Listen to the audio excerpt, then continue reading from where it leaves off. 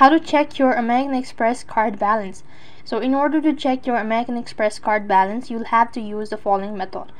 If you're using a mobile app, then if you have the American Express mobile app installed on your smartphone or tablet, you could go ahead and open it up and then you could go ahead and log in into your account using your username and then a password or biometric authentication.